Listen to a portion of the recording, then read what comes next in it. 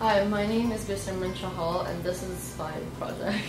Uh, my project is an analogy of an episode of a reality competition show showcasing DNA structure, replication, and mutations.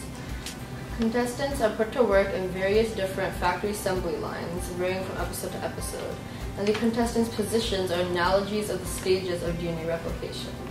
The contestants are split into two teams that must go through the different positions to create two identical lines of the product that must function well.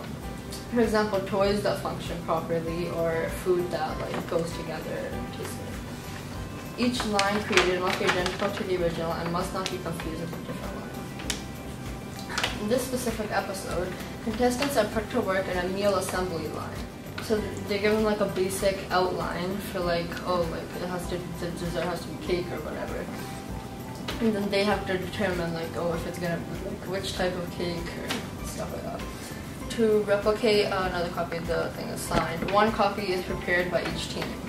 Uh, this represents how DNA is replicated into two exact copies of itself. The positions, starters, and categorizers carry out both by each. Yeah, they carry out both um, roles, like each contestant carries out both roles.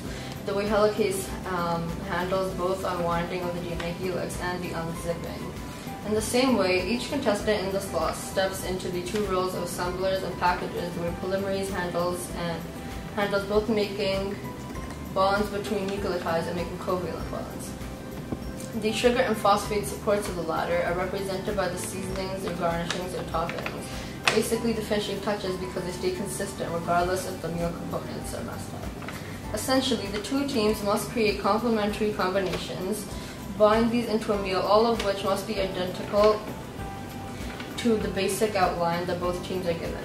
This represents how two identical copies are made of how the original of the original DNA stand.